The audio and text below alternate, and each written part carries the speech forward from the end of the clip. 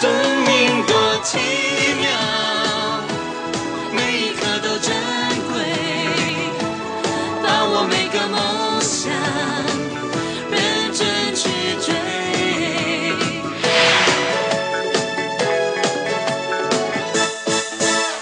欢迎回来跟我们一起关心你的宠物跟你的宠物的保险。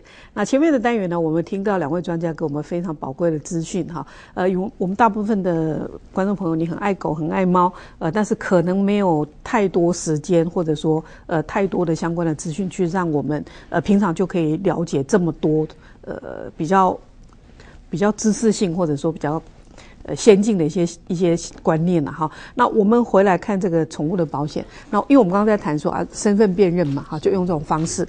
那人的保险里面呢，呃，刚我们讲年龄嘛，身份，另外还有一个性别，还有体况。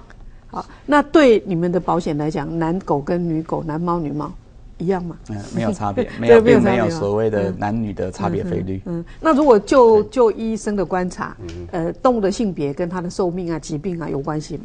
呃，会有关，但是是轻微的差异啦。嗯嗯譬如说有子宫卵巢疾病的，哦那是一定是母狗，对，嗯。那有睾丸肿瘤的 是那那个一定的男那个男生，对，那个一定那有些疾病是它是会有特异性，譬如说一些荷尔蒙的问题，嗯。可能会特别是在女性比较多，但是在我们这个给付项目差异不大。嗯，对，嗯，那如果就年龄来讲的话，对。就就寿命寿命来讲，呃，母狗或母猫比较长，还是看得出差异吗？呃差不多哎，哦，真的差不多？吗没有像男女差别那么多。没有，因为我们也精也原原则上也没有很精确的狗口的互证嘛，所以那个狗死亡的那个 时间点我们也没办法抓嗯嗯的。但是我们经验值上看起来其实差不多，差不多，对，就是呃，您您的病人里面很老的狗，男生女生都有。都有。我最老的病患猫是二十四岁，然后狗现在是十九岁，嗯，对，嗯那都是超过了平均的对，所以一般平均可能狗大概在十二岁上下，嗯，猫大概在十五岁上下。现在那如果以狗来讲，寿命跟体型有关吗？呃，大型大型狗的寿命会短一点，嗯哼小型狗的寿命会长一点。嗯，这有什么原因吗？呃，可能跟他们一些先天或好发的疾病有关。嗯，像大型狗有一种叫做扩大性心肌病，嗯，所以它可能不太有会出现症状前期，那大部分一发作的时候到院前就走了。哦，那小狗的心脏病反而它就是会有前面的症状让你知道，嗯，所以我们会有呃，譬如说它有咳嗽或喘，咳嗽或喘，或是运动耐受力不行。嗯，另外小型狗因为常常抱在身上，所以它很容易被侦测到，嗯所以它有它提早就医的机会比大型狗高好几倍，嗯嗯所以它的寿命就比较容易被被 maintain 下来。嗯好，所以如果这样的话，在保险公司的立场来讲，呃，你们在核保的时候，在定保费的时候，跟狗的大中小型有差别吗？其实，在国外的话，猫跟狗是有不同的费率的，啊，甚至不同的年龄也有不同的费率，其实就跟人的健康保险一样，啊，但是因为台湾就是。它的一个年龄，我们的一个并没有一个完整的一个建制，嗯，好，所以我们为了说它在投保的一个便利性来讲，其实我们现在采的是一个平准的保费，不分猫狗，哦就大家都一样大家都一样，对嗯，，就单一的单一费率了。嗯好，那接下来我要问的问题是，人有过胖的问题，宠物也有，对不对？有啊所以过胖的宠物会不会被你们拒保？哎，会耶。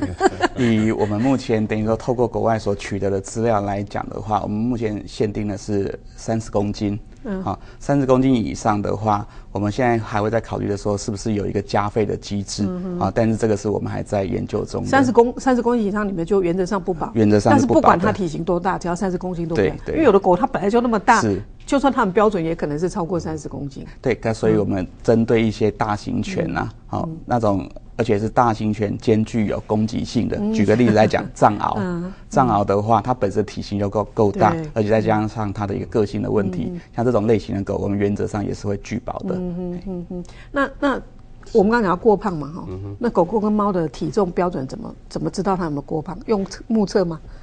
嗯，事实上，因为它狗的品种也很多，对对，所以呃，国外的一些资料，大家都会建议会用身形，嗯，哦，或是用你的触感，嗯，身形就是它会告诉你一个狗的苗条是怎么样，然后大概的线条比例会有一个对照图，嗯，但是我们指甲比较实物上是用手去碰它的胸廓的地方，它应该轻微可以摸到肋骨的感觉，嗯，如果上去是有波动很柔软摸不到，其实就已经过胖了，嗯，那我们在诊所间看到的状况。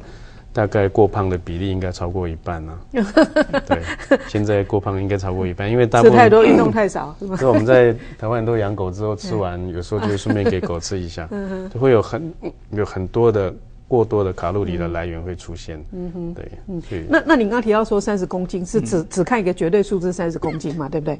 那对单一个体很胖的呢，但是就像蔡医师刚刚对对对刚刚所讲的，其实也会考虑。对我们原则上，因为我们一定会做所谓的体检嘛，对那体检的时候就会像蔡医师刚刚讲的触诊，就是我们判断哦，所以你说触诊还包括有没有太胖这样子。是对对，那有没有太胖就是兽医师来判断这样嘛？对，就我们因为还是会主人还是不会叫他不胖啊。我看很多 狗主人，狗一定很胖，不会啊，不会啊，对对是，所以是由医生来判断。对对，我们也会尽量协助啦。哈、那一先让般先让减肥再来对我们进来的时候，这个体检一般我们称为叫诊间体检。嗯，他比如说触诊、视诊、听诊、体温等等，目视啊，五官健全，很像我们去当兵的兵役体检类似。嗯，那如果他没有特别的问题，我们就会让他去去建议他加保。嗯，有问题在那个诊间就会提出来，请续主去矫正，或是说请他在嗯好好照顾一下再回来这样。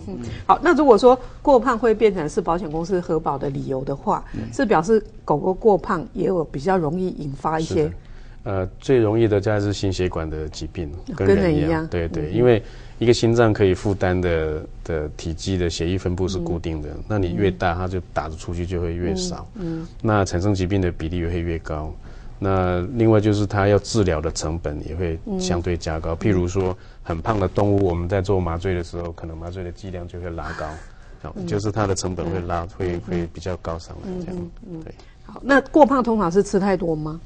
呃，过胖有两个原因，一个是比如说我们结扎之后，它的代谢率下降，哦哦，是它的荷尔蒙的影响。嗯，另外的话就是生生活形态里面，呃，很容易取得好吃的东西。嗯，好，这个跟我们国人也一样，就是我们在亚洲可能因为我们小吃太好吃，逛一下夜市就会忽然间超标，对，所以就是过胖的原因大部分是卡路里摄取太多。嗯，另外一个是我们台湾的社会对狗。